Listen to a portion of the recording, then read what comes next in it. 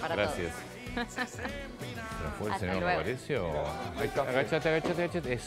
Esperá que me olvidé el Muy café. bien. Buen día. Estamos, buen día. Yo si no, no tengo café, tengo síndrome de abstinencia y me pongo Bien. más malo de lo que soy. Buen día. Hola, Buen día. profe. Hola, Antonio. ¿Cómo Buen les va? día. Todo muy bien, gracias. ¿Todo bien? Bueno, después, después de tocar ver con Caro, se complica la, situación. ¿Sabes que hoy, hoy vi completo el, el programa de ustedes? Vi tu, com- tu comentario al que suscribo sobre Leila Yani y, eh, y Grabois. Pero hubo algo, será por, por esta historia de haber pasado por la Facultad de Derecho y ser abogado. Sí. ¿qué es el, el patoteo del doctor Juan Grabois a los jueces? También, bueno, en un momento nosotros hicimos el repaso, eh, que esta fue una segunda parte. Es una vergüenza. Pero aparte, la, muy desautorizados los jueces quedaron, porque tampoco reaccionaron. ¿Sabes qué? Si no suspendés la audiencia, no desalojás la sala. Lo estoy pensando en este momento y debe- debí haberlo producido en- con anterioridad. ¿Te acuerdas cuando Cristina declara ante los jueces, sí, claro. vuelve Sí, caminando? sí, las preguntas las tienen que contar ustedes. Sí, claro. Bueno, es un clima de época. O sea, en esta quiebro una lanza por la posición de Javier Milei que dice vengo a dar una batalla cultural. Pero ¿Podemos qué- ver un segundo? claro, eh, después te digo qué impresión tuve por haber Lo que litigado. decís es en el juicio de vialidad. ¿Me escucha? Esa- el juicio de Juicio Vestida de blanco en el Tribunal. Oral Se Federal. retira, Sí. Cuando le vuelve, cuando le, le hacen una pregunta, vuelve y dice, no, las preguntas las tienen que contar ustedes, a los jueces. Eh, no, el- el- el- el- Perdón, el problema es que Cristina puede decir cualquier cosa. El problema es que los jueces no hacen nada ni toman ninguna Total. medida. Pero quiero decir, eh, Perdón, que, busquémoslo, si se puede. Cuando Cristina va al Tribunal Federal y los jueces termina ella su declaración de y dice, va a responder, porque cuando vos te indagan, Sí. te dan la posibilidad de que Sí. respondas o no respondas Se preguntas. había ido, vuelve y les Dice, dice yo eso. no voy a responder, ustedes tienen que Sí. responder. Pero mirá lo de Grabois, porque me parece de un signo de época que hay que cambiar. Mirá lo de Grabois que pasó ayer. cuando era funcionaria de Alberto Fernández, cuando era funcionaria de Macri, o ahora que es funcionaria de la Libertad Avanza. Yo no soy ningún militante del hambre, yo he combatido toda mi vida contra el hambre. No sé este señor de Conin, que es una organización totalmente opaca. Silencio. Silencio. Calladito. Te estás excediendo. está gritando. Perdón, ¿eh? Te estás excediendo. Yo no los interrumpí. Yo no los interrumpí cuando decían que era militante del hambre. No Bueno, a pues cámara. hacen. No faltes el respeto a la cámara. Si querés hablar sobre mí, lo hacemos afuera. No en este lugar. Su señoría está O no te Me van a seguir- me van a seguir, no te-. Bueno, entonces hablemos Pero afuera. me van a No seguir- personas me van- este me van a seguir No faltes el respeto a los jueces. No faltes el respeto a los jueces. Si querés hablar sobre mi persona, lo hacemos afuera. No, voy a pedirle por favor, señores jueces. Le, le pido un favor. No, no, yo le pido un favor primero. ¿Vale interrumpir al otro? Le vuelvo a repetir. Limítese, Yo le vuelvo a preguntar. ¿Vale, ¿vale interrumpir al otro?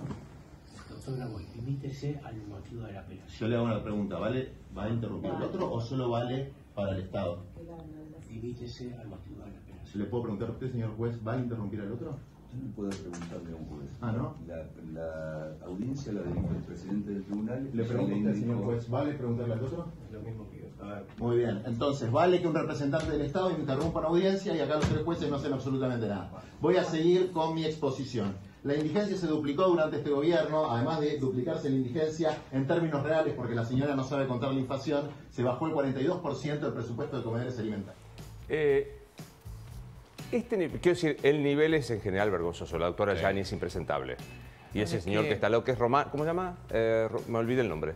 Romano creo Sí. que se llama. Son dos impresentables.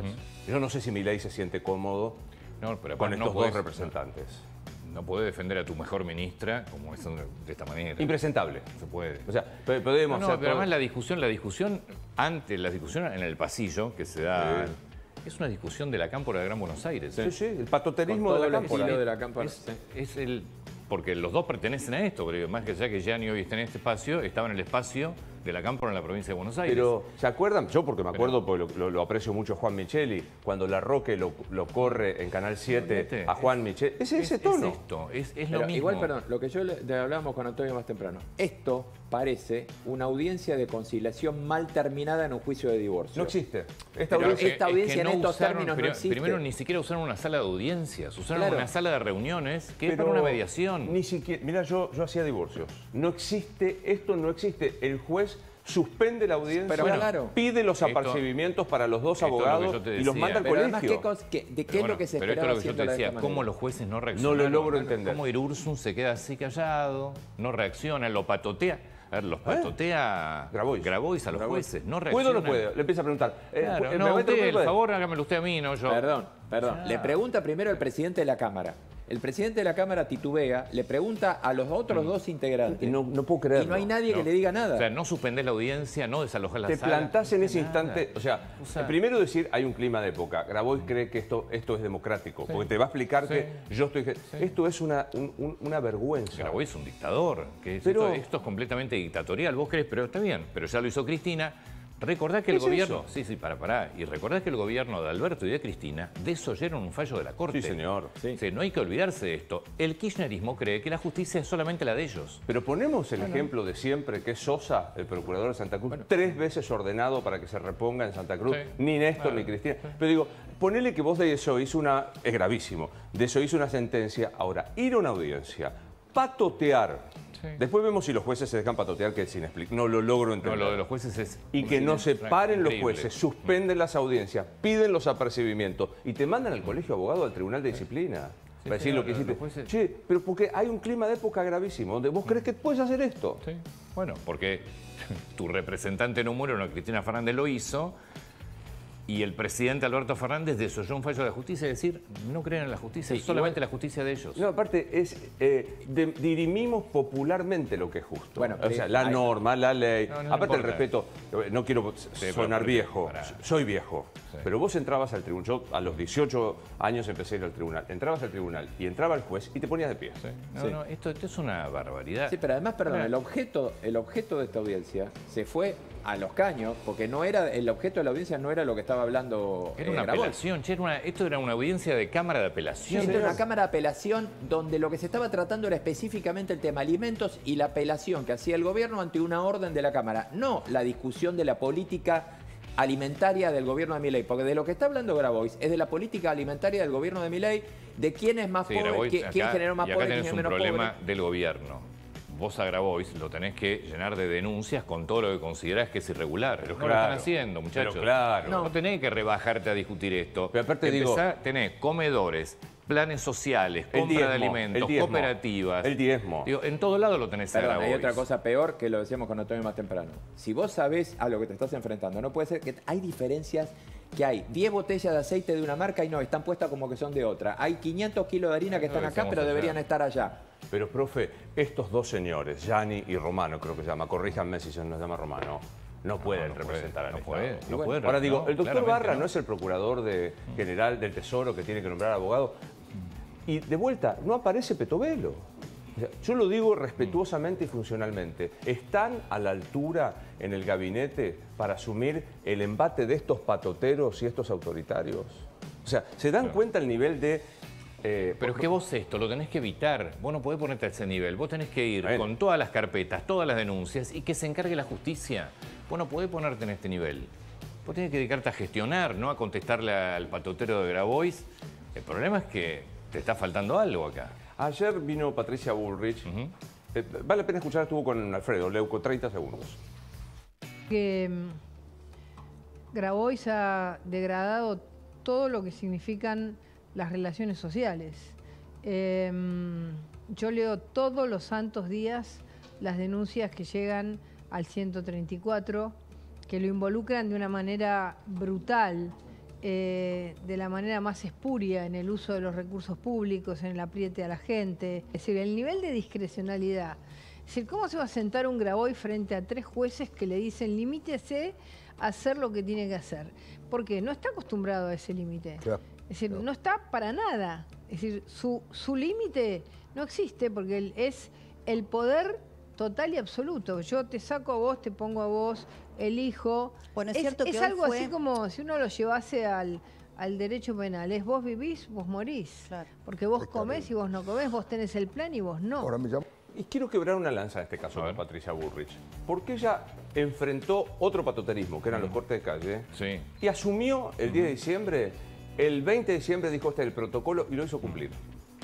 Legalmente. con la fuerza de seguridad. Entonces digo, de la misma manera tenés que enfrentar al patotero, eh, no- los gritos no con, que con- con esta enfrentarlo, Vos señora. tenés que dedicarte a hacer todas las denuncias Total. y a otra cosa. Ir, a- ir profesionalmente al tribunal, abogados. denunciar, seguir la causa, Nada mostrar más, si sigue más. y explicar. No, pero ¿Cómo va a ser? Pero lo de ayer fue Ahora, lamentable. Pará, acá lamentable. no tendrían que haber sacado un escrito que lo deberían haber llevado preparado en la eventualidad Obvio. de tener que hacer una Y nada declaración más. y decir, en estas condiciones, señores, señores de la Cámara, No, bueno, presento el escrito y me retiro. Perdónenme, ¿eh? Da vergüenza el tribunal. Sí, señor. Da Sí, vergüenza. Pero, O sea, pero- tenés razón. da pero vos como parte, Sí. Antonio, tenés que llevar, ¿Pero siempre tenés que llevar la llevar- alternativa qué de que a llevar si esto. fuiste a patotear igual? Porque en definitiva Bueno, claro, te pusiste a la altura del patotete del. Pero mandá a un abogado, a un técnico, Claro. con el poder de- del Sí. ministerio, po- presentás el escrito y te retirás y te vas. Pero digo, ahora, los jueces, me parece vergonzoso, quiero decir, demuestra que tienen miedo, le tienen miedo a Grabois.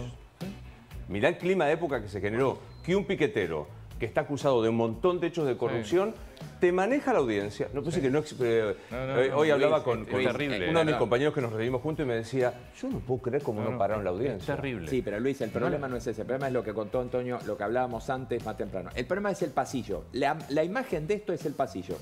Porque, ¿Por qué pasa esto? Porque, lo, porque las personas son las que vimos en el pasillo. Pero ponele que en el pasillo... Es una pelea de una pero- interna pero- de la cámpora bonaerense. Pero el tribunal De los dos tiene que lados. A mí me suspender parece la que esto es audiencia. grave. Y el tri- no, no, obviamente que lo más grave es que el una tribunal no la suspenda. Es decir, vos tenés tres jueces atemorizados por Sí, un sí. patotero. No le contestan. El patotero Una consiguió el, vergüenza. el- el objetivo. Está festejando Grabois. Claro, ¿Cómo que no? Desde ya. Aparte, Ya. eh, viene esta historia. Yo recuerdo siempre a la doctora Cristina Fernández cuando decía, yo no entiendo cómo un juez con una lapicera y un papel puede tener una decisión. Por eso se llama Estado de Derecho. De los Sí, romanos esta parte se llama control de legalidad. Entonces empezó a discutir que los jueces puedan tener más poder, pues no son electos. Bueno, esto es la consecuencia. Sí. Esto es el patoterismo que se instaló durante 20 años y que muchos van a celebrar. Che, qué huevos tiene Grabois que vale. ¿Sabes qué? Para que esto pueda hacerlo, es una frase que los psicoanalistas se enojan mucho cuando lo digo. Para que haya un sádico tiene que haber un masoquista. Claro que sí. Eh, dicen, eh, psicoanalíticamente está mal, pero para que haya un sádico, te- y acá hubo un sádico y hubo quienes se dejaron maltratar. Tal cual. Eh, Esto es, y te dejo ir con esto, esto es a lo que yo refería. Audiencia, causa, vialidad. Cristina va indagatoria, que es el acto material de la. Sí. defensa, expone, expone, expone, y los jueces, como corresponde por el Código de Procedimiento, le dicen, ¿va a responder preguntas que le va a hacer la Fiscalía? Mírala, recordala.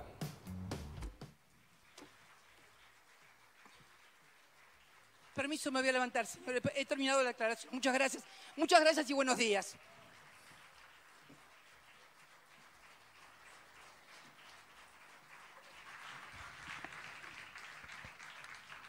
Señor presidente, voy a preguntar si van a contestar preguntas. No, no contestó si van a contestar preguntas. Me imagino que ya con su... Sí, yo le he preguntado, pero me parece que tal vez no escuchó por los aplausos que había. ¿Preguntas? Preguntas tienen que contestar ustedes, no yo. Gracias. Y la claque detrás, Sí, sí, por supuesto. aplaudiendo. Ahora, eso corresponde a un apercibimiento. Sí. Que no existió. Porque, digamos, eh, está bien que es una imputada, no puedes apercibir una. Pero como abogada exitosa. Sí. Bueno, pues, no existe. El colegio de abogados te sanciona si haces una cosa semejante. No, no, Bueno, pero lo de Grabois fue. Yo, yo estoy asustado por la justicia. O sea, si esos son jueces de Cámara de Apelaciones, estamos en un problema enorme. ¿Sabes que es el tribunal? Después viene la corte, ¿no? Sí. Pero es el tribunal. Llegar a la Cámara es llegar a la cúspide. Además, digo, está presidida esa Cámara ayer, quien vos vieras que era Ir Urson, es el que el preside. la- No reacciona. Le tienen Ir miedo. Urson, a ver, Ir Urson, es un Le tipo recontra cono- reconocido. Vieron las cámaras de televisión, Qué tuvieron bárbaro. miedo. Señores, se levantan, suspenden, piden apercibimientos para el abogado, Sí. giran al colegio de abogados y vuelven a citar una audiencia en otra circunstancia. Pero bueno, creo que es el marco. La doctora lo, lo- lo inauguró y se sigue funcionando de esta manera. Ahora, papelón también los representantes del Estado. ¿eh? Papelón. A ver, todo fue impresentable ayer. Todo. Todo. Por eso yo decía que hay que remitir, que lo, de la- lo del- lo del tribunal es lo primero. Pero si queremos saber quiénes están involucrados en esto, miremos lo que pasó en el pasillo. Sí. Pero él, eh, tiene razón Antonio. Es una discusión clásica de la cámpora que vos ves en la provincia de Buenos Aires cada cinco minutos. Así se discute. Eso es. Eso fue. Bueno, eso es todo. Muy bien. Un placer verlos. ¿eh? Hasta mañana, ¿eh? Hasta Hasta luego, mañana. gracias. ¿eh? Formalmente, buen día, Nación. Cuatro puntos centrales en las noticias del día de hoy. Húmedo día en la ciudad de Buenos Aires. Reve-